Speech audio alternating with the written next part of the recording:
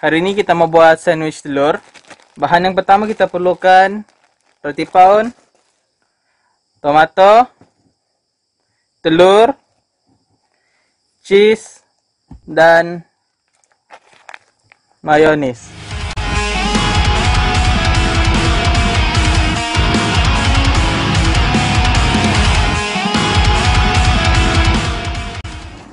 Oke, ah, kita rebus telur. So kita letak garam.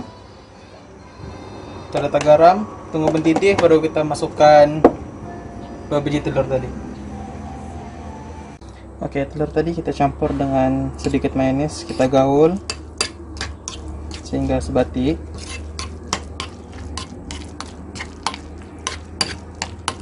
Oke.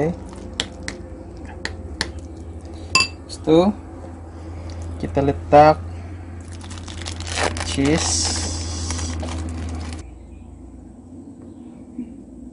Cheese kita letak tomato. Lalu kita letak telur.